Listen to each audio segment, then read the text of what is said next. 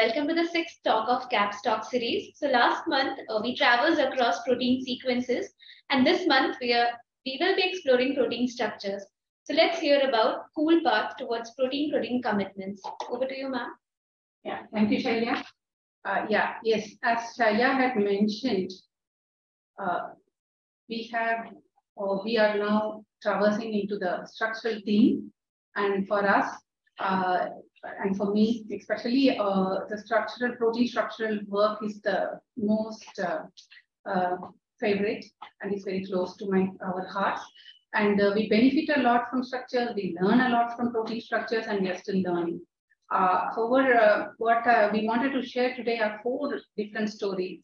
One of them is to examine Uh, proteins which look similar and uh, are evolutionarily related. That means they are belong to the same superfamily. And then to ask the question, which parts and of these uh, aligned set of protein sequences uh, that belong to the same superfamily are varying. And varying in the sense not just appearing as indels, but within an alignment can we pick up conserved features. And the story began like this, you know, because as I said in the sequence theme, uh, we and that in the very first talk on sequence searches, we are interested in structural motifs. So that's uh, one part which is very useful because they serve in that sense as constraints in and to improve the specificity of sequence searches, right? Uh, for instance, we had talked about method transferences and then the structural motifs and how it becomes harder and harder to bring in superfamily because there is structural variation going on all over, even including the structural motifs. So it becomes quite hard uh, to recognize them. But uh, what I'm going to show you next is an example of another superfamily where not there are not just structural variations going on within the core, within the structural motifs or whatever, but there are structural variations that are so vivid that they appear as embellishments, right? And the extent of embellishments between the superfamily members could be different. And therefore, uh, it can be pretty exhausting trying to uh, um, align them, compare them, or even just to agree upon the fact that they are in, indeed similar and belong to the same superfamily. That being the case, uh, I was just uh, talking about it when I was visiting uh, Professor Bernard Offmann's lab uh, back in, I think, 2008 uh, or so 2006 actually. And I was lamenting about these uh, sort of length embellishments. And during the conversation, it was Bernard. actually, he brought, he told some of them act as like giants, some of them are like dwarfs. And he said, yeah, dwarfs and giants. And we like the term a lot. And that's when we started working on these uh, structural variations, as it were, uh, you know, uh, literally in bioinformatics, uh, computational um, challenges, or I say challenges become an opportunity because uh, in bioinformatics, for instance, we start to uh, categorize the challenges, try to understand what sort of difficulties are there so that we can begin to address them in a class-specific manner. So uh, that means we have to uh, engage in objective algorithms, right? So today's talk, in fact, are all going to be on algorithms. And uh, I then talked to Sandhya Sankaran, who had joined uh, our lab as a PhD student at that time after the visit. And then I told the, so I think we should really start with structure-based sequence alignments of the families and begin to code so that we can recognize which regions are conserved and which regions are not conserved. And Sandhya is very adept at coding. And she immediately took to the idea and started the work. And uh, that's where our journey began in this CUSP project. But it actually continued so beautifully, actually. Uh, because after Sandhya uh, uh, Ishita joined uh, the lab.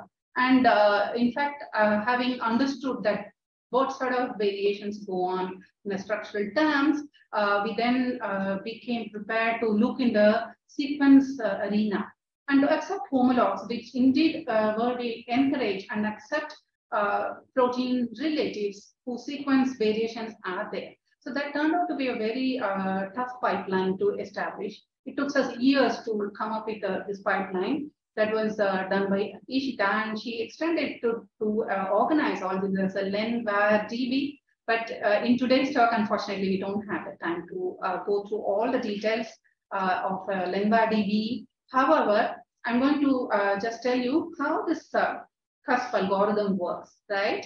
And the cusp algorithm uh, requires uh, alignments. Alignments of protein domain superfamilies as a start point. And then uh, we uh, then it begins to uh, examine the code. The cusp code will begin to look at the structurally organized and conserved parts, the strand being strand, being strand and strand. So on, these are conserved. And sometimes uh, it's not just uh, indels. It's not just insertions and deletions. Sometimes you can have uh, a helix that is getting exchanged to a strand and then to a coil and so on. So uh, algorithm is um, able to um, accept these sort of uh, variations such that the secondary structures themselves could be different, not con considered as equivalent and they don't remain conserved. And then the algorithm was going to just start by organizing the structurally conserved parts and then the structurally unconserved blocks. And this is going to be explained by Sandhya very soon, the SSPEs and the USBs. And uh, we then went on to categorize what sort of variations are going on, which are the length rigid superfamilies, which are the length deviant superfamilies. It doesn't mean that the length rigid superfamilies are, are bad. Uh, it's just that they can still have functional variety. But more often, the length deviant superfamilies have all sorts of functional variety. And this particular table is kind of summarizing that, which was investigated by Sandhya. And uh, you will see that uh, length variations can impact function in all levels. Substrate specificity being different, the way they recognize other proteins could be different, and also they how they participate in higher order complexes also could be different. And they seem to be usually achieved by means of small indentations, not a very long loop and that's it. Like if it is a 30 residue loop, it's sometimes partitioned into uh, and, and divided into two or three loops and they all seem to bear that length variation. And that seems to give the capacity for them to vary in their function as well. Uh, so without much ado, uh, let me uh, request Sandhya, who has come online, to explain the cusp algorithm to us. Sandhya, please. Yeah, Thank you. Thanks very much, uh, ma'am. And thanks everybody for a wonderful opportunity to go back to a PhD problem, which is very close uh, to my heart. So, uh, uh so as ma'am mentioned, uh, in my time in the lab was uh, in the year, between the years 2003 and 2009. Um, maybe I should just share my screen. okay. So my time in the lab was uh, between 2003 and 2009, and uh, ma'am came and uh, spoke about this problem on uh, uh, variability in uh, domains, domain lengths. And as a primer to that, actually, um, primer to that, I mean, I just like to give you this analogy of something which we use very regularly. Of course, these are all surgical forceps to the right and uh, when you look at them very, you know, uh, uh, uh, very superficially, then you can see broadly they have the same kind of a structure or scaffold. But uh, when you look at them, I mean, especially at their tips, uh, you can easily appreciate that there are very, very fine differences in the way they grasp an object, for example. And this is very true when we look around us in the protein universe world also. Now, uh, very often when we look at protein structures, especially those which we know are involved in similar functions, when you look at them, you see a very, very large number of gross similarities. And uh, as an example over here, I have shown you five representative structures of members of the cytochrome C superfamily. And um, um, uh, visually, anybody can tell that at least they should have about three helices, which are arranged uh, fairly orthogonal to each other. However, also what is very evident is that despite this common orthogonal uh, arrangement of helices, there are some units or embellishments which exemplify or differentiate each member of the superfamily. And what can these differences be? These differences can be in the form of longer loops. Some of them are in the form of additional secondary structures. But overall, all of them help or do not disrupt a conserved core, which is what is a, characteristic of the cytochrome C superfamily. So protein length variation somehow seems to be quite gently accommodated into a structural scaffold without really disturbing the scaffold and yet adding its own embellishments or variety to the family. Um, is this unique uh, feature of certain superfamilies. Really, when we look around us in uh, proteins from various classes, such as the alpha class or the beta class. So here are representatives from, from each of these classes over here, lipases, Rossmann fold-like members, and um, you know lysozyme-like uh, members. And in all of them, uh, there are certain elements that are fairly conserved. Uh, okay. But there are also certain embellishments which are, which are very easily evident when we examine or compare these structures. So therefore, uh, as ma'am also, also mentioned, almost every protein superfamily, when you start looking at the members individually at their structures, we can recognize that there are some giants and there are some dwarf domains. And yet, overall, they all seem to be involved or engaged in some sort of a similar functional role. So we looked at this. Um, uh, I mean, I mean, how do you capture these differences in length? And and for that, we thought that the I mean, it, it would become a very subjective, uh, you know, uh, decision making. Therefore, we needed an objective algorithm, and that's where we started looking at uh, an algorithm which we named as CUSP, uh, which is the, as the as the name suggests, the recognition of conserved units of structure in proteins. A good starting point for these alignments was already there with us in the form of the PASS2 superfamily alignments. Now, these superfamily level alignments were generated um, um, in, in such a way that initial equivalences between secondary structures were specified by the use of programs such as STAMP. And uh, therefore, we were quite sure that uh, when we are looking at a multiple sequence alignment of a protein superfamily member, we're already looking at regions which have a fairly high conservation of structural elements, right? So as shown over here in this schematic, um, when we look at an, a superfamily level alignment, there would be regions where almost all of the members would have strands in the same position or helices in the same position and so on. So this is how structural alignments really look like. But um, uh, so, so the aim of CUSP was really to delineate such regions of core secondary structures, which we call as secondary structural blocks, from regions that did not really conserve any form of secondary structure, which we uh, uh, intuitively called as unconserved structural blocks or USBs. And um, uh, so, so that was the core aim of, um, uh, uh, you know, of the CUSP algorithm.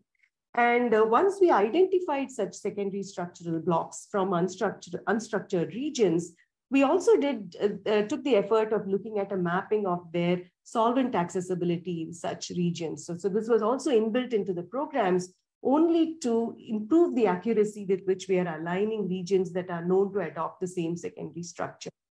And uh, once we had these regions, the idea was to look at if there are going to be a large number of indels or insertions and deleted regions in protein superfamily level alignments, then uh, how do we characterize these? I mean, uh, do, do, uh, is it useful information to recognize those protein domain superfamilies that generally do not show much variation in length from others which are highly deviant in length? And I will get to the uh, to, to how we took these decisions in, in a bit. But essentially, we were able to recognize from about 353 superfamily alignments, at least 24 superfamilies that were that we classified as length rigid and not showing too much variation in length, and at least 64 protein superfamilies that show tremendous uh, variation in length. And having done this exercise, of course, we're always curious to know what kind of functional correlate such regions can add on to any protein why would a protein uh, superfamily have both giant and dwarf members and broadly still be able to do the same kind of function, overall function? This was the aim of uh, CUSP. And uh, so here is an alignment from PASS2. Uh, this is obviously a, a, a, representative alignment. So there are only four sequences which are shown here for ease. And for each of these, we now looked at mapping the secondary structures, which we derived from the DSSP assignments. We also use the uh, solvent accessibility mapping onto these structures to recognize core regions, which we would name as either highly conserved uh, uh, helices or uh, helices or highly conserved strands and regions and, and, and there might be some regions which also have highly conserved coil regions or linker regions. And our scoring scheme was such that uh, when you had very, very high conservation of the same type of secondary structure assignment as we move one step, one position to another in the alignment, we would conserve, we would mark these and score them very, very high, giving an assignment of about five. Where there was a replacement in at least one member having some deviation, but at least 75% members uh, or position uh, of residues at a particular position showing a, a conserved residue type or a structural type, we would score it as 3.75. And where we were looking at unconserved regions or gaps uh, aligning with each other, we gave it a very, very poor score. So therefore, ultimately at the end of this exercise of mapping the secondary structures onto the alignment, recognizing the structural blocks from unconserved blocks, we were, able, we were in effect able to identify highly conserved blocks, medium conserved blocks or poorly conserved blocks, which is what I'm showing here through this representation, highly conserved strands, highly conserved helices, and so on. So the when we then looked at these unconserved regions, okay, so highly conserved regions, of course, the fact that they are very well conserved across the members of the protein superfamilies immediately suggests that these are forming the structural core. But our interest was looking at the length variant regions. So when we look at the distribution of the length ranges across the various uh, members, then we find that uh, that there are very, very few which show uh, um, a high deviation in length from the average domain length of the, uh, uh or, or, the, or the length of that block. And um, uh, although length variations are universally seen across all the members in the protein superfamilies, some, such as in the alpha beta superfamilies, which were able to accommodate higher length variations. And by that, we mean at least in the range of about 50 to 100 residues. Um, and uh, when we look at the actual lengths of the indels in the various uh, you know, major classes, uh, and looked at how many of them showed only about, um, uh, show very, very high variation in length, and uh, we call these as the length deviant superfamilies, the ones where uh, they were having a variability greater than 30% of the mean domain size. Whereas the length rigid superfamilies were a smaller set of about 24, where they were uh, uh, uh they showed less than 10% variation in length in their mean domain size. And uh, as you can see, across the various classes, this trend is fairly uh, uniformly conserved. So you would have length deviant superfamilies and length rigid superfamilies now identified in various members or uh, various uh, structural classes of protein. And uh, um, intuitively, one always imagines that um, indels are likely to, add, to, you know, to generally occur as coils. But uh, we went on to look at whether regions that were indels, which in our definition are actually unconserved regions, right? So they may have, or one or two members may acquire some form of secondary structure. We generally saw that uh, it is not necessary that they are all coils, that in many cases, such as in the alpha beta class, at least 50% of these indels or, uncons or um, you know, unconserved structural blocks are actually made up of helices. And uh, whereas in the case of the alpha class, then a, a, a slightly higher than, uh, you know, about 56% uh, uh, uh, occur as coils. So indels also can acquire secondary structure and, and, and adopt a particular shape. And uh, when we look at the average length of the indels, you know, are these short? Are these only two to three residues in length? Or can they span much larger lengths? Because when we looked at giants and dwarfs, we do know that there are certain superfamilies which have at least twofold to threefold variation in length between related members of the same protein superfamily. And uh, so therefore, we, a general trend we noticed in all the classes were that multiple short indels are preferred rather than having a much longer indel which will connect or, uh, or, or, uh, um, or, or, form some a decorative element in the structure.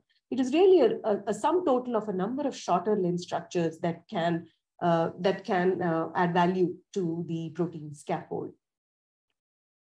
Um, so we went on in, in the phase two of this project to look at what kind of consequences the structural scaffold uh, would, uh, would have to face as uh, when it had to accommodate such large variations in length And we generally saw that there were three main categories into which our data sets uh, fit into. And these are summarized over here in the interest of time. So first is that majority of these length variability is observed in protein domain superfamilies that tend to exist as structural repeats. That is the same domain uh, occurring in repeated contexts, either in tandem on a single chain or in multiple chains. And alternatively, some of these uh, additional lengths or uh, embellishments generally helped a protein domain to exist as a multi-domain protein and contributed to the socialness of a domain. And uh, uh so th th uh, in those days, we were looking at uh, which domain families are, are promiscuous in nature and like to associate with multiple other superfamilies. And I'm sure that there will be a number of talks on this, on this theme as well in, in, in future presentations from the lab. Uh, but we looked at how many of our length domain superfamilies, length superfamilies also fit into this category. And uh, lo and behold, when we looked at some superfamilies, I already mentioned that they can exist as repeats. When we actually looked at these repeating domains and superimposed them one on top of the other, we find that the structural core is extremely well conserved. In fact, about 75% to 80% of the core is can, can superimpose quite well at an RMSD lower than 1.5 angstrom. And um, uh, indeed, when we looked at the 27 deviant superfamilies, we find that, that, that, there is a good number uh, which were actually existing as repeating domains where the additional lengths which are shown, which are which, which I'm uh, pointing out to over here in some of these domain superfamilies may contribute some additional functional role, which could be interaction with the neighboring domain or interaction with a completely different uh, partnering protein uh, altogether. And uh, um, also many of these proteins we found like to occur in multi-domain contexts. And that is of course true for a very large number of protein domain superfamilies in itself. And uh, uh, uh, like I briefly mentioned, some of them may be in multi-domain contexts, either within the same chain or in multiple chains as well. This was another trend that we observed. Um, and, um, um, and of course, when you have a large number of variability and the presence of a number of extraneous loops, some of them almost looking like an entirely different or a new domain altogether, as we saw in the case of the phosphoribosyl transferase domain, um, uh, we would see that many of these help to anchor a number of not only intra-subunit interactions, but also interactions with neighboring subunits from other proteins as well. So was the case of the SAM domain. And um, another example in the form of the viral proteins, where in capsid proteins, which, which, uh, which uh, generally uh, occur as higher order oligomers made up of multiple subunits. And uh, um, with each subunit having at least uh, typically um, uh, two forms, two jelly rolls. This is the this is the most basic nomenclature adopted by these proteins. Now, um, the two jelly rolls may well be conserved between the individual subunits, but look at the variability in length. And this variability in length suggests that the huge variety that you see in viral protein structures or viral capsid-like structures may be uh, a consequence of uh, such large embellishments uh, that are typical of some of these protein families. So um, as, um, uh, as also summarized uh, earlier, so broadly, when we looked at every uh, one of these length deviant superfamilies, we found that the extra embellishments fit into multiple roles Beautifully, they contributed to the stability of the domain or dictated domain size in itself and uh, the minimum domain size. Some of them added to the multiple repeat contexts of certain domain superfamilies, such as the ARM repeat and TPR repeats, which are known to lie in different numbers and different contexts, and uh, uh, uh resulting in producing a completely new interface for interactions with other proteins. And uh, likewise, some of them also had regulatory roles and uh, um, involvement in higher order complexes, such as in the case of the viral jelly roll. So with this, I would uh, like to summarize some of our studies on the, on the development of the CUSP al algorithm as an objective scoring scheme to recognize structurally conserved blocks from unconserved blocks in proteins. And this objectivity helped to identify structural cores and also recognize those protein superfamilies where large variations in length can be accommodated. And such variability in length can help to understand what are the limits by which of, of alignment length filters that you might want to apply in any sequence search algorithms for newer members of this protein superfamily. Likewise, newer members of this protein superfamily, we could use this information to also look at um, um, you know, how much, um, uh, how, how, much variability you want to uh, show in the case of the loop regions when you, when you perform a modeling exercise. So studies like this are useful to make these broad sort of overreaches as well. And uh, so uh, back to you, ma'am, uh, for the presentation. Thank you. Thank you, Sandhya.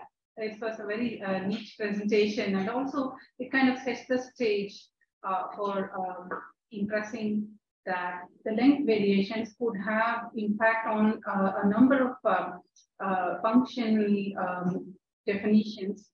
Most importantly, how this might affect how the protein domains have the capacity to interact with other proteins or other protein domains themselves.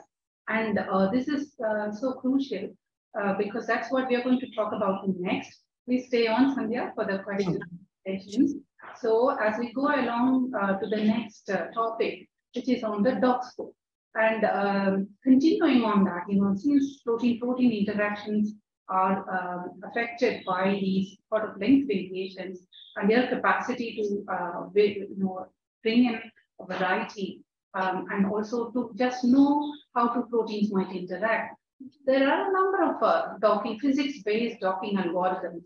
And what worried us uh, when we were as uh, when we act as users is that usually we just are thrown um, back uh, a number of decoys. Decoy means a number of uh, possible solutions of how two proteins, uh, say A and B, uh, could interact with each other. And these solutions um, have the possibility, have the strength that you, the user can choose what is more biologically meaningful, but from the structural principles can be uh, recognized that in the absence of any biochemical data, and especially in the absence of uh, the crystal structure itself, which is like the gold standard, um, you know, the crystal structure of the AB complex. So with this in mind, uh, when Sony Malhotra joined our lab, she not only worked on DNA binding proteins as we have heard last, last week, uh, she had also participated and uh, worked on this um, scoring algorithm, wherein we purposely took 30 uh, crystal structures of protein-protein complexes. Some of them are the AA type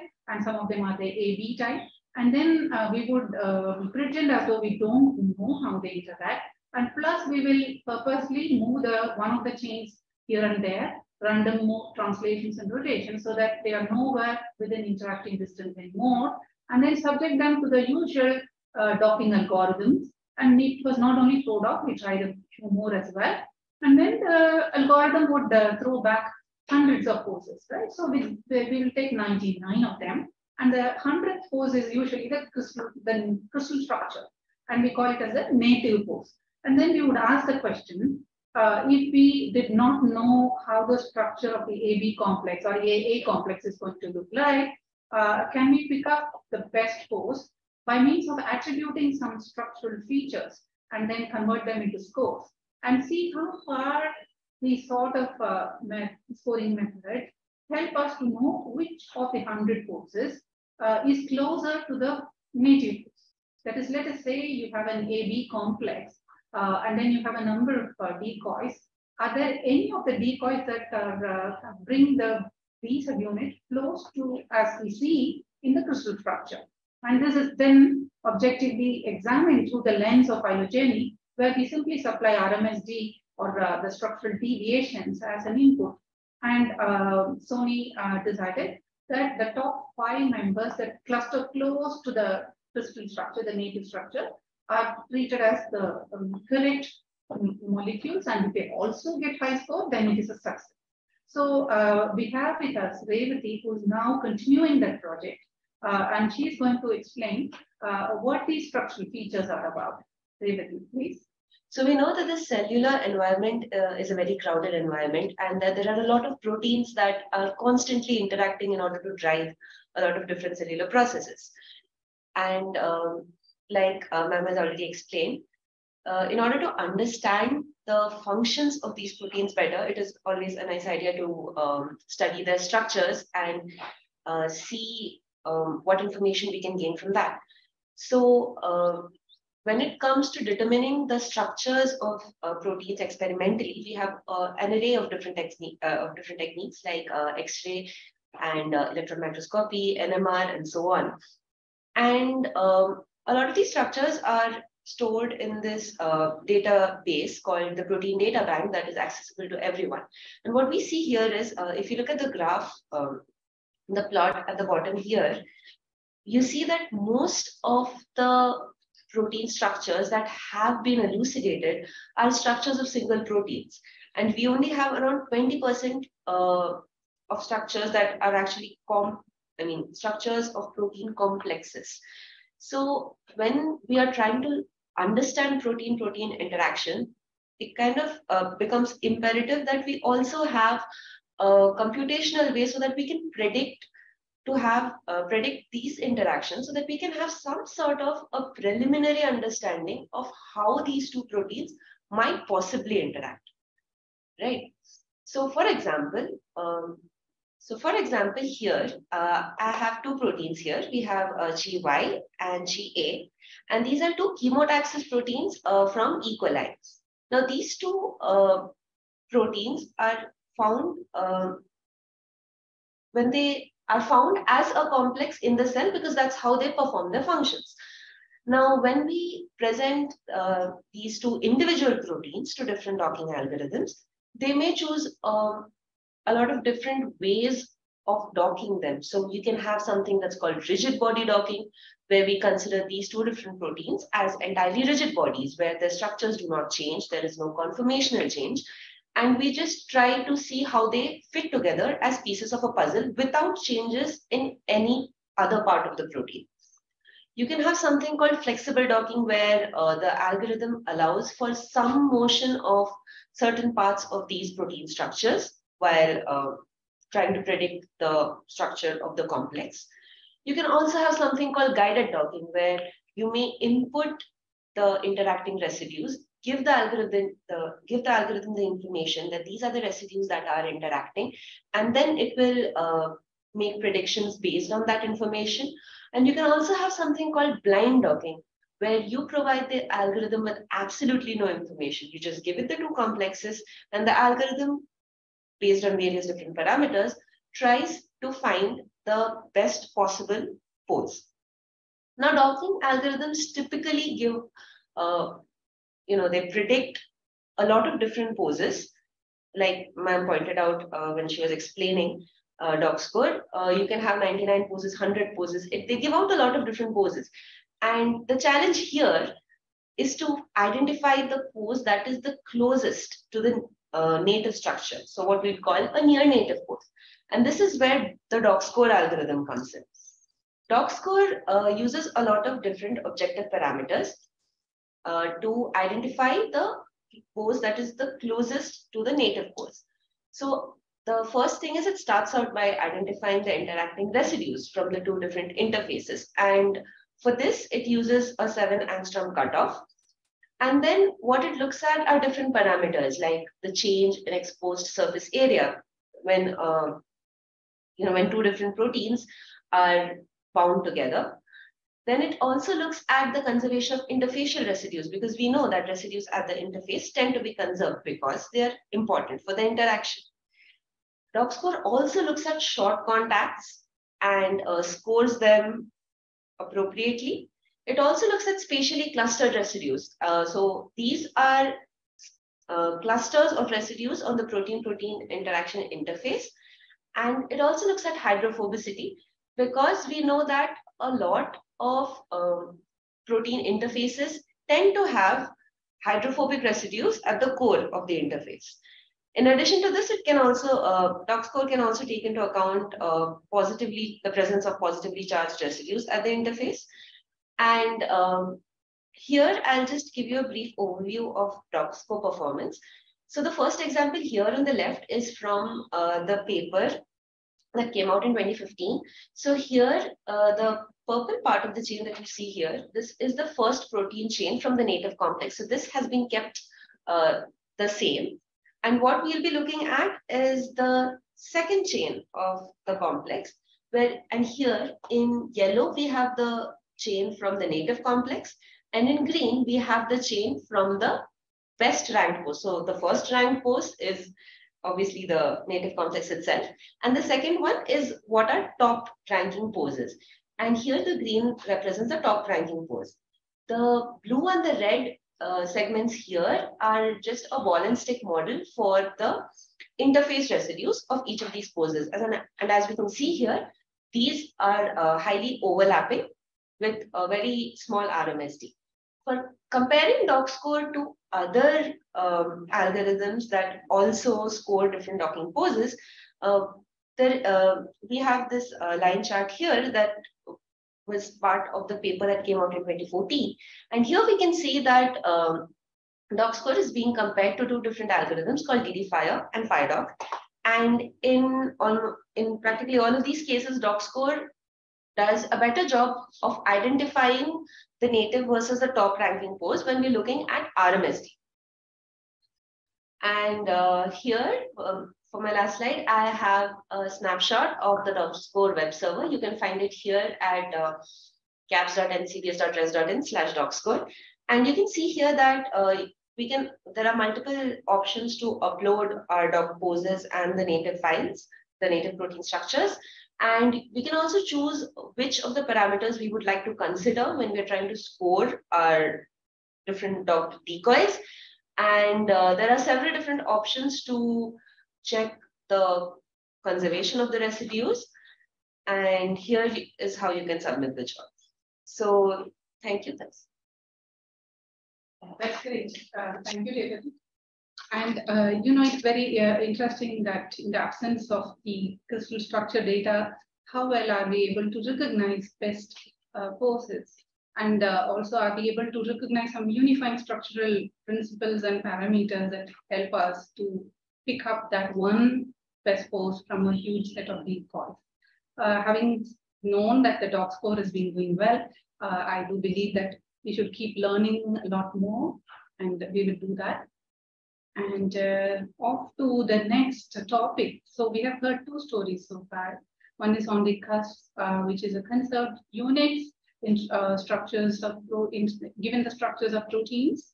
And then uh, the DOCKSCORE, which helps us, in fact, uh, to recognize uh, best pose. And we do not make use of the structural information of the protein-protein complex in the process. Fine. And uh, then third and the fourth stories are somewhat related.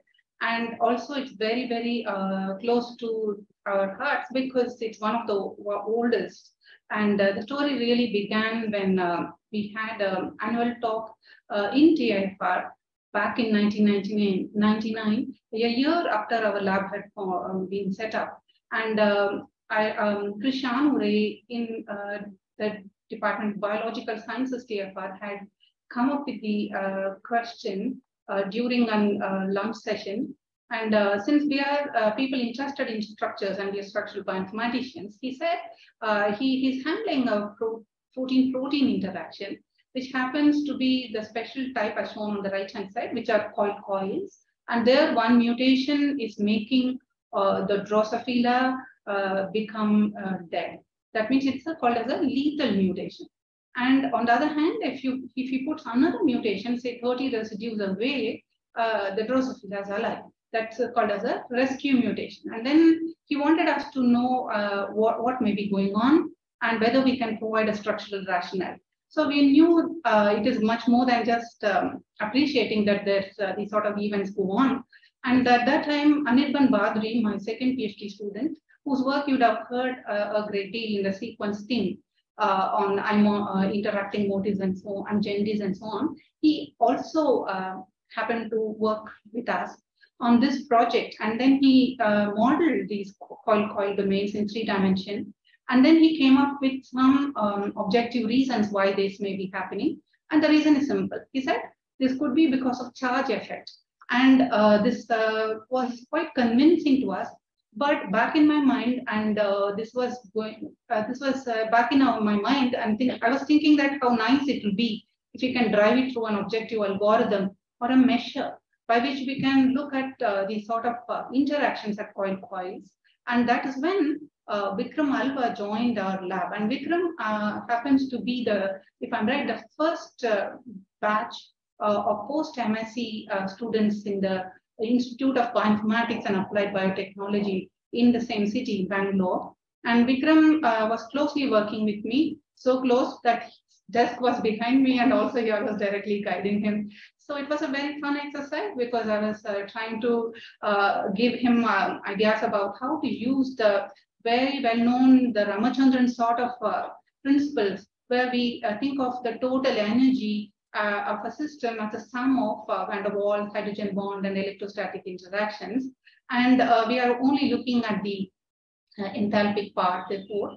And um, plan was to concentrate at the interface of these uh, proteins that uh, engage in coil coil and then attribute the sort of pseudo energies so that we can begin to recognize uh, which are stable systems, which are weak systems. If they are weak systems, which regions are um, causing this weakness and so on. And back again, uh, this meant we could apply these sort of uh, principles of taking the total energy as a sum of these three components. And uh, that's when the coil check really began. But it did not stop there because then Divya joined the lab and she applied them uh, this uh, principle on an algorithm coil check on myosins. And Margaret uh, later on uh, took it forward uh, to improve the coil check algorithm wherein we cared for the hydrogen bonds we applied distance dependent dialect, um, dielectric constant so that the electrostatics are better described. And um, also Ma Margaret had uh, specifically then uh, brought up a, a, module of coil check plus, which I called as Chaho. By the way, I call all these names uh, of algorithms and uh, yeah, we just debate a little bit and then we stick to one name. And also equally important, I think, is to um, kind of pause and uh, recognize that these five and a half uh, seminars that we have had so far, I would have mentioned the term funding or grants only a couple of times. Once to discuss a Wellcome Trust grant that came in 1999, and then uh, uh, in, sorry, in 2000, and then I had talked about my very first uh, Indian grant, which was the Department of Biotechnology grant. And all the other projects that I have described so far are all from internal funds, the funds that came from NCBS TIFR, and we the lab is very grateful for the uh, nice funding that we have been obtained from our parent institutes. Anyway, to go back to the coil check story, uh, what Margaret is going to do uh, is to explain um, the process of how coil check was converted into coil check plus, how the Chaho was uh, useful to uh, understand myosins because we kind of went into a much better commitment on myosins by jointly uh, working and uh, um, getting a human frontier science program grant, uh, which meant we were formally collaborating with scientists like Professor James Spudich of Stanford University, Professor Henrik Flyvbjerg of the Copenhagen University, and I was the principal investigator for that grant wherein we theorized that we were able to uh, make these three-dimensional models of many different myosins where people have never handled so far, and they are from different genomes. Can we use coil check and recognize the weak regions so that it can be iteratively tested that indeed such weaknesses have a functional reasons. So with this in mind, we collaborated also with V-Life Technologies, a company, and particularly uh, this gentleman here had uh, primarily been working with us, Samir Mukhopadhyay. So without much ado, let me um, invite uh, Margaret uh, to tell her part of the story. But before I do, I'll also tell you that this naturally just lent uh, itself, the project lent itself to ask the next question, which is why stop and look only at those, those proteins which are coil in nature can be instead, um, sorry, are you able to see the slides? Are you seeing a set of four photos? Yes, because uh, I, yeah, it's fine now. Uh, okay, so then we ask the question, can we then apply to uh, protein-protein interactions of all the globular um, proteins uh, for, whose, uh, for whom we have structural information available. And that is what Anshul Sukhwal had uh, next done. And he improvised the coil check pro program and completely directed it so that we can now start looking at global protein-protein interactions.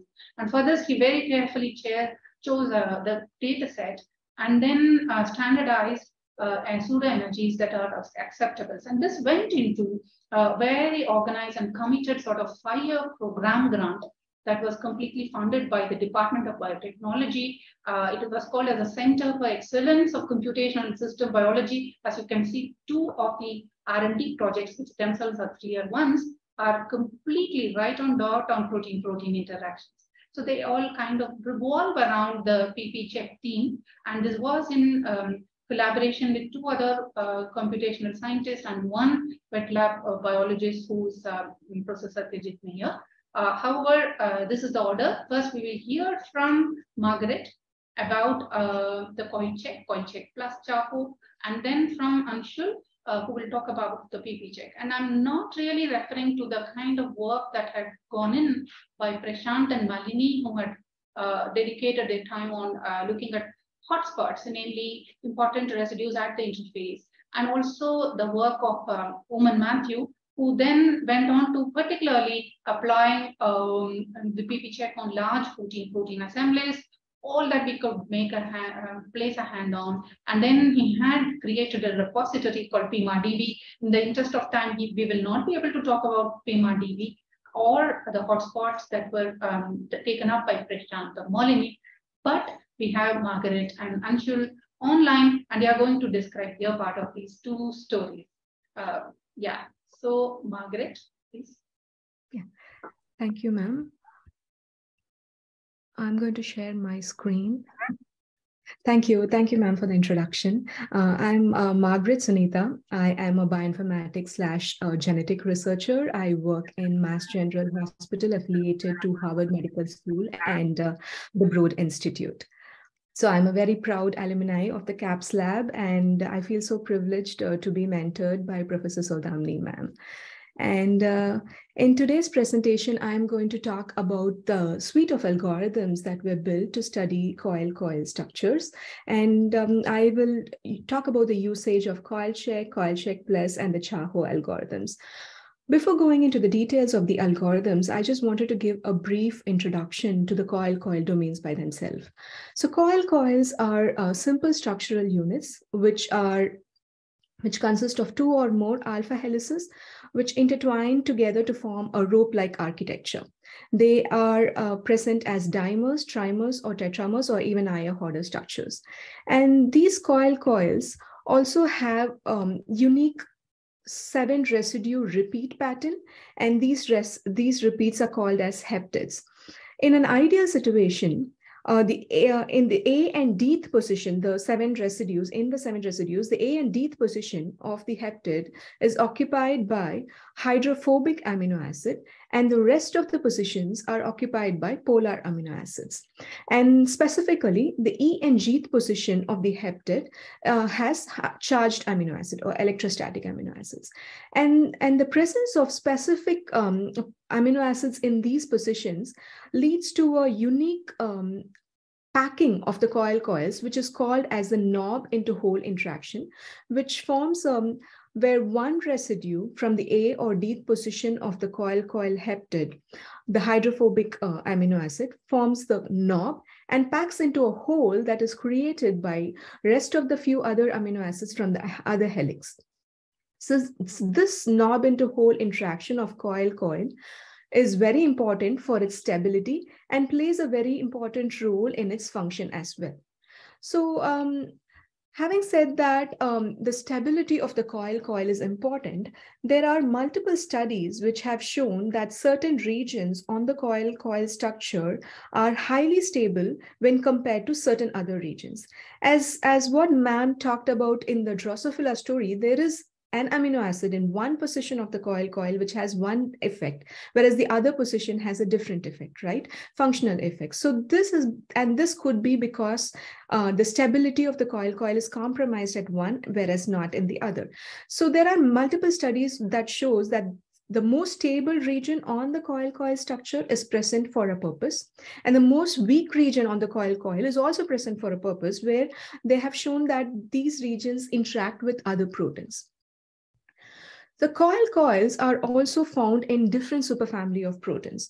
Um, they are present as shorter uh, structures, as in case of leucine zippers, nucleocapsid proteins, repressors, or autotransporters. They are also present as transcription factors interacting with DNA molecules. And uh, they are also present as long length coil coils, which are which which travels like thousands of amino acids together, as in the family of tropomyosin and um, myosins. So having said that, coil coils are present in different superfamilies and the stability of the coil coil plays an important role, um, uh, what are we trying to understand using the coil check and uh, the updated coil check plus and Chaho algorithm?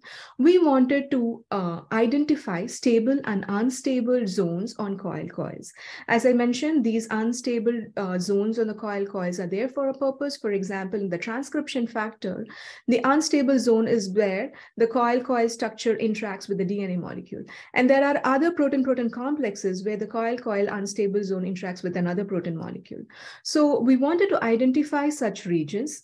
And based on that, we wanted to pinpoint certain functionally important hotspots on these coil coils. And this is what we wanted to achieve using coil check and coil check plus algorithms. So first coil check. Uh, uh, Vikram Alva uh, was the main author of this paper, where they have developed uh, and and and which was also um, where Divya also in, interacted with Alva to get this coil check first version of coil check uh, method. So uh, basically, the method identifies total interprotomer stabilizing energy between the two helices of a coil-coil structure. So the way the uh, algorithm works is that uh, provided, an, provided an input PDB structure and the two helices that we wanted to interrogate, um, the method calculates hydrogen bond energy, electrostatic energy, and van der Waals energy, and sum them up together to get the total interprotomer energy, which is a contribution of energy between the two interacting alpha helices. And this has been normalized based on the number of residues that are present on the coil coil and benchmarked with the set of uh, coil coils that are available at that point of time. And then, and then provide us with a, a energy which is which says whether the structure is stable or unstable. So this is the basic algorithm that was developed. In, and in the updated version, Coil Check Plus, we added a couple of more features to it. One is that um, we, we collaborated with VLife Technologies and tried to build a module where we can fix hydrogen atoms into the structure and then calculate these hydrogen uh, bond energies. This is one module. And the second thing, we also added a feature where we can calculate the electrostatic energy based on distance dependent, um, uh, based on the distance between those uh, charged residues. So, so we call this as distance dependent electrostatic calculations. The idea of this is that we wanted to include um, the charged interactions, not only that are close by in the coil-coil structures, but also which are far off. So even those far off uh, charged residues could contribute to the electrostatic energy and we wanted to uh, integrate that into the calculations. So we added a couple of more features to it and we have this primary algorithm called coil check plus, which is an updated version of uh, coil check.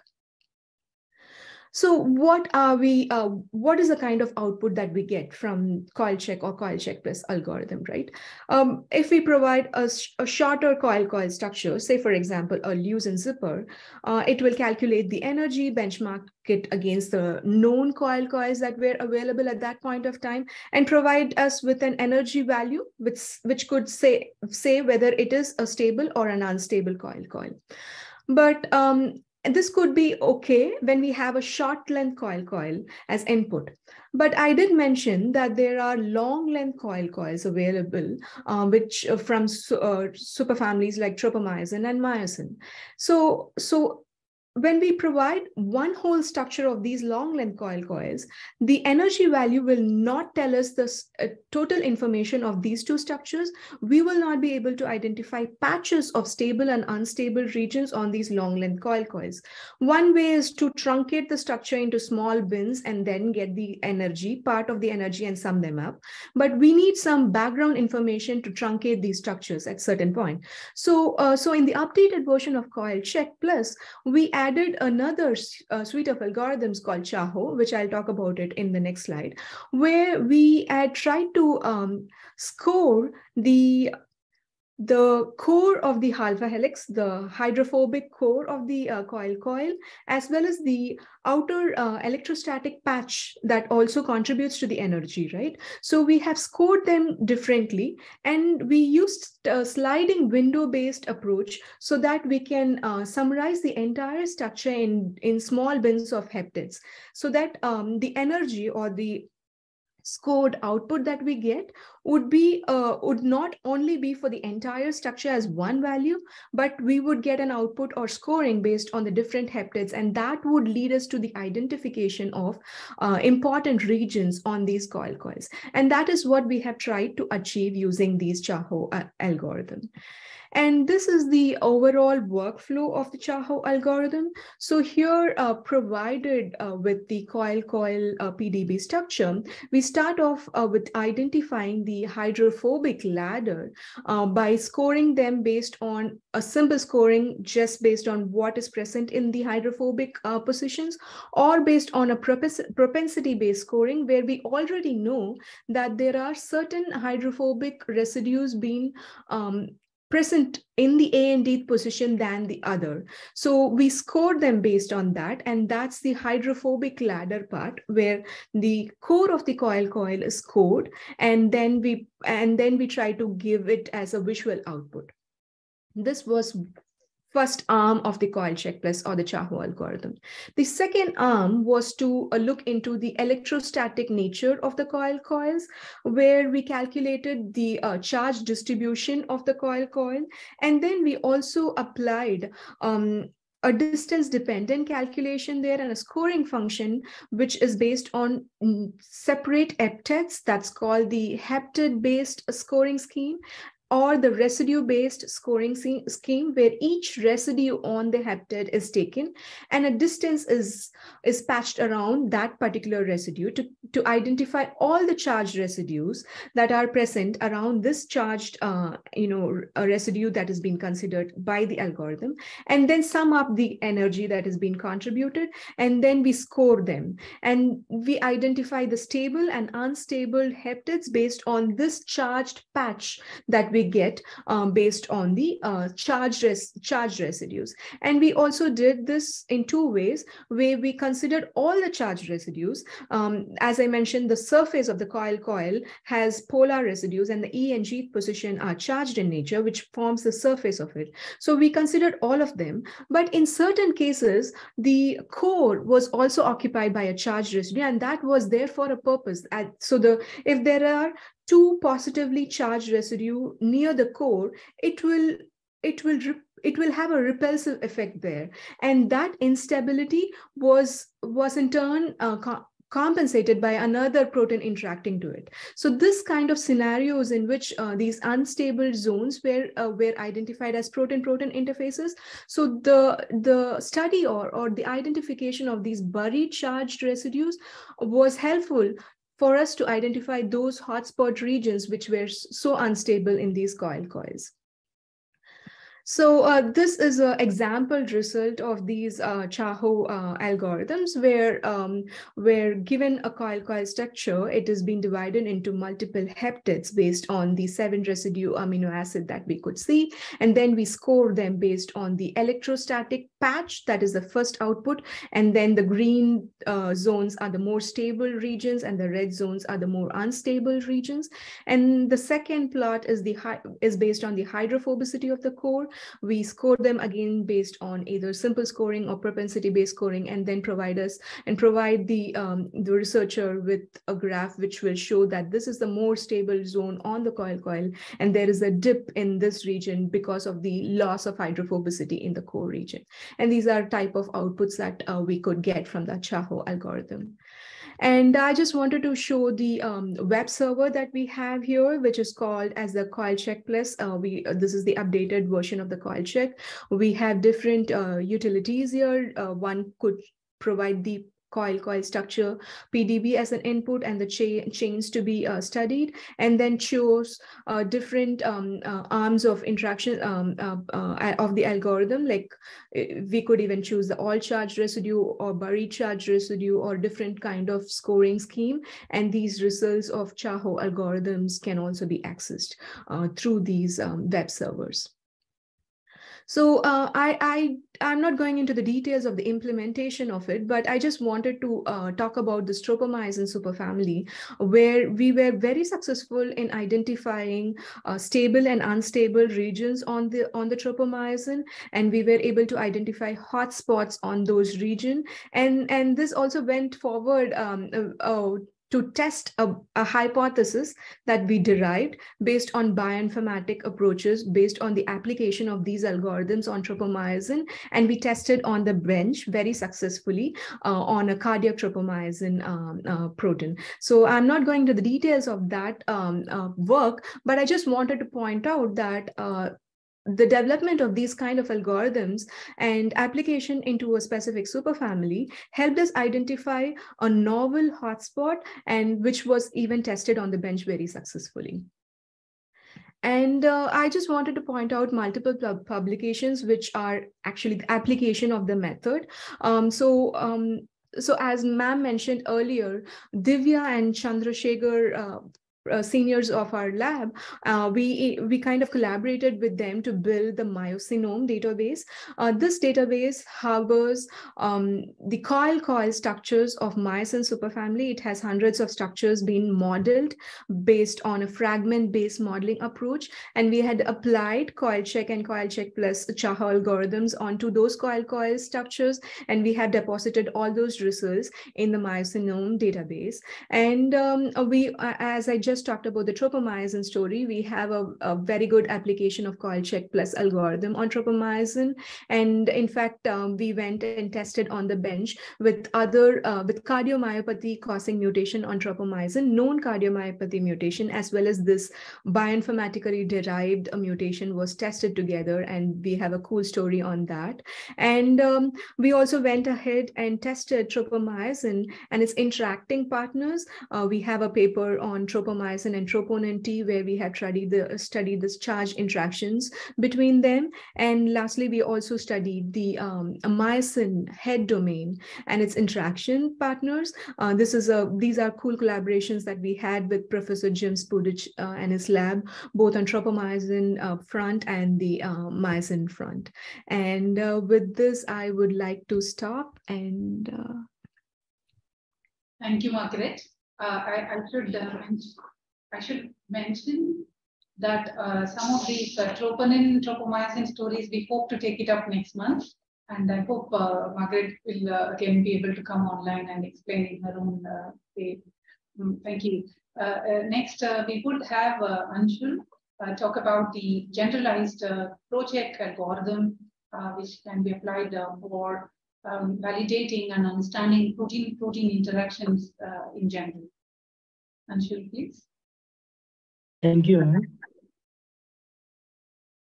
So uh, today I'll be speaking about PPGen, uh, web server for the quantitative analysis of protein-protein interfaces and prediction of residue hotspot.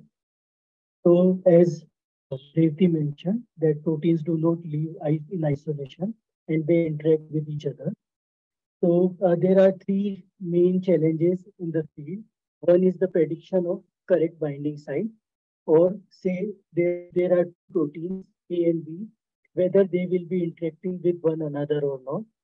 And if at all, they will be interacting with each other, whether they will be interacting with each other this way or uh, they will be interacting with each other uh, through this interface. or whether they will be interacting with each other through this interface. Now, suppose if we have understood this, we are not to see the slides yet. Is it visible now? Yes. Uh, you, you, may go to full screen. Yeah. So uh, there are mainly three uh, challenges. One is whether the protein interacts this way or uh, whether the protein interacts this way.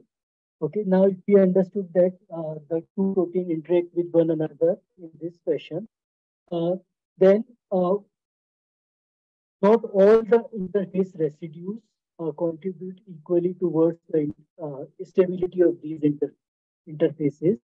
Some residues contribute more, and then they are called as hotspot residues.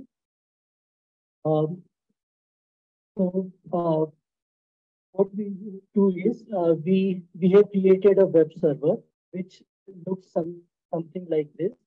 Okay, it has several modules like protein-protein interactions, hotspot prediction, computational alanine scanning, residue conservation, and prediction of right docking pose. Uh, today, I will be discussing about the first three, that is protein-protein interaction, hotspot prediction, and computational alanine scanning. And here, uh, how it works is, like uh, one can uh, feed a PDB ID or uh, put uh, any of the complexes, upload any of the complexes, and uh, the server calculates various energies like hydrogen bond energy, electrostatic energy, as well as van der Waals energy. All these energies are then summed up as total energy and only those residues that contributes towards any of these energies are considered as interface residues. Now the total energy is divided by the number of interface residues to get a normalized energy per residue as informed earlier by ma'am. Yeah, so we took a data set of the globular proteins from uh, different data sets, which contained a total of 238 different protein PDB IDs and 262 different uh, PDB chains, like interacting chains. And we found that it is mostly either the hydrogen bond energy or the van der Waals energy that contribute towards the stability of these surfaces. And uh, here is the bar chart for the same. And this is how the server looks like. So one can select the module that one wants to study. Uh, suppose here we started with protein-protein interactions module. Then this is the very next page looks like. One can enter a PDB code or upload a PDB file. Uh, if needed, one can get this on uh, email uh, through email as well. Now suppose here we have entered a PDB code, say one day, uh, then all the different protein genes that are available with PDB are listed. Then we can select the two interacting protein genes, say here in this case A and B, and we are now calculating the total stabilizing energy. Then we get a result, something like this, like the list of hydrogen bond energy, electrostatic energy, van der Waals energy. Sum of all these energies as total stabilizing energy. All the residues that contribute towards these energies, a normalized energy for residues. Uh, now, uh, PPCheck is a tool for prediction of hotspot. So, uh, as informed earlier, like uh, not all residues contribute equally towards the stability of protein-protein interfaces. Some residues contribute more, and they are called as hotspot residues. Earlier studies have shown that these residues exist in clusters called hot regions. And these hot regions are like the more conserved residues. They also add specificity to the binding site. Now, uh, for our method, like PPCheck, it, uh, we use the training data set from alanine scanning energetics database which uh, where we collected 192 mutations. 77 of them were hotspots and 115 of them were non-hotspots. And uh, after training, uh, we tested uh, the accuracy of the program on a separate data set called uh, taken from this database. we here we took a total of 126 mutations. 39 of them were hotspots, 87 of them were non-hotspots. And uh, why this particular data set was used? Because these particular training and test data sets have been used through various programs for uh, benchmarking. And so we found that uh, our program PPCheck was performing uh, comparatively with other programs as, as well. And uh, here are a couple of uh, examples where it uh, uh, better than uh, the existing uh, very good algorithm called KFC2B. Okay, where in one protein complex, say one uh, that there are two hotspot residues, aspartic acid 58 and lysine 20, which predicted from the other algorithm, but PPCheck could successfully identify it, predict it, and the, uh, for uh, this thing, uh, one can select the hotspot prediction algorithm, the module on the server.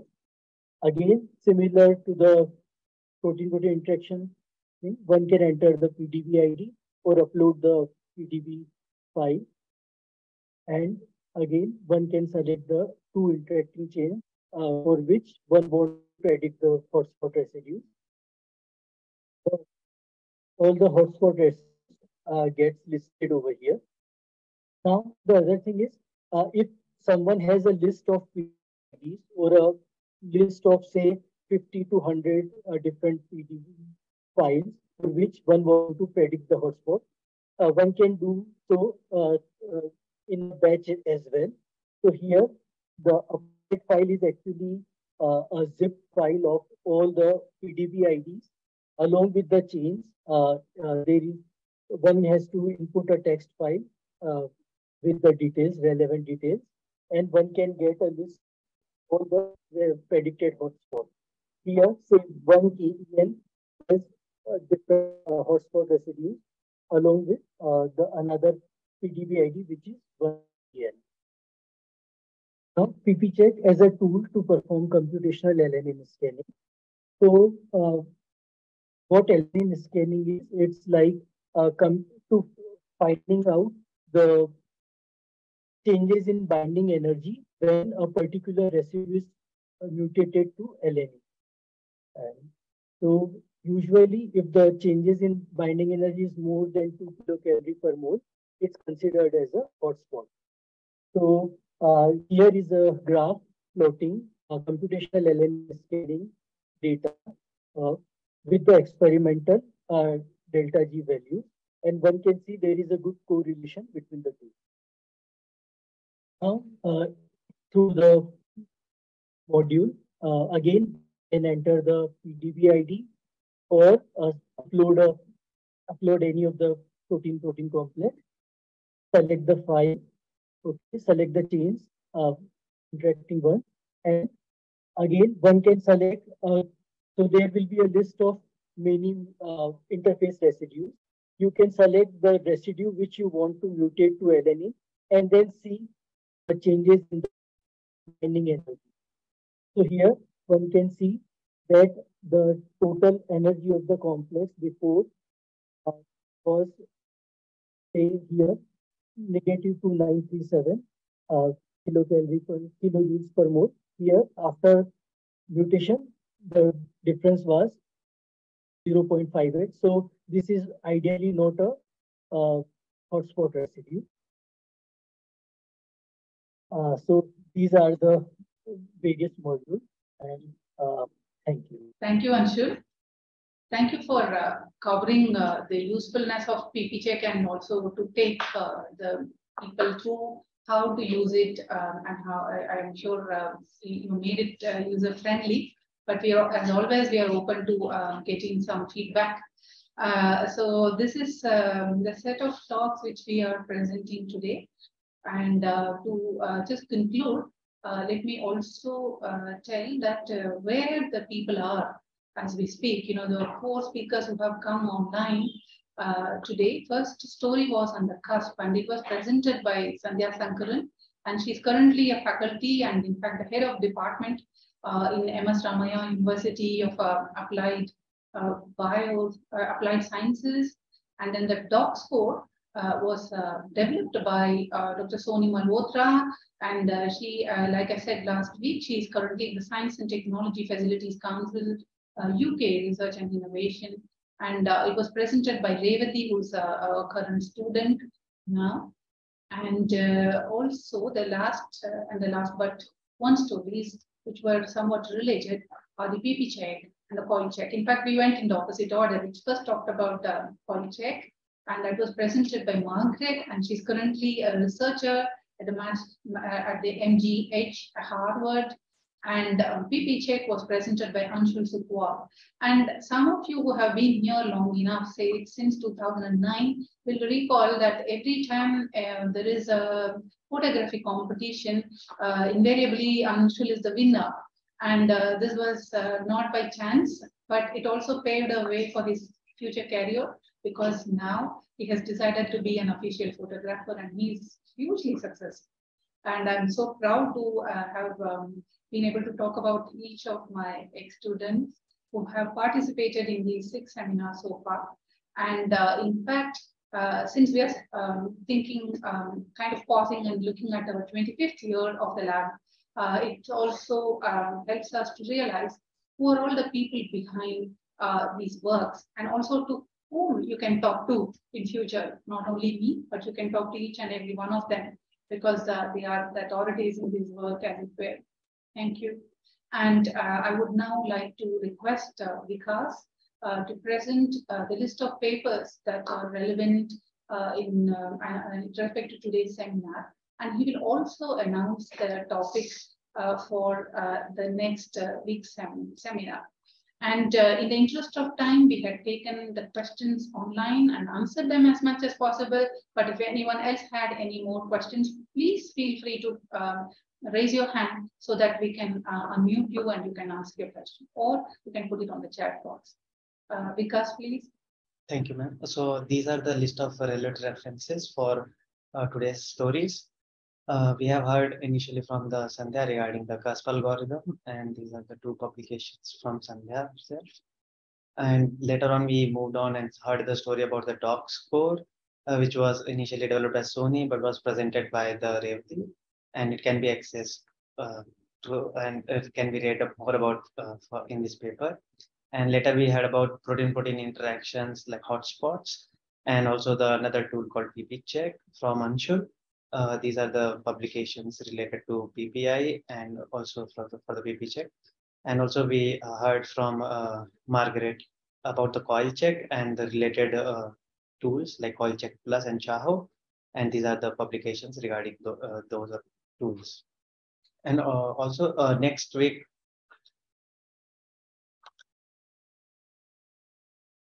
um, we'll have another uh, exciting talk regarding the identification of uh, structural domains and the development of a algorithm for the same task. So stay tuned. Over to you, ma'am. Thank you, Vikas. Uh, and uh, I don't see uh, any raised hands or any fresh questions.